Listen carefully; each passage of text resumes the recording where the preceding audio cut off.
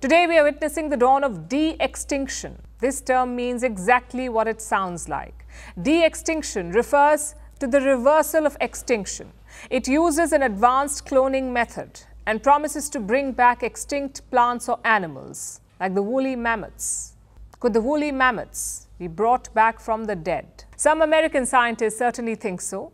They've been trying to engineer a woolly mammoth by creating genetic blueprints. How many lives will be lost before one woolly mammoth is created? How much trauma and suffering will animals go through? This is a hairy situation. There are technical hurdles and mammoth ethical challenges because de extinction promises only hope and blood, not results. So, who decides which species come back?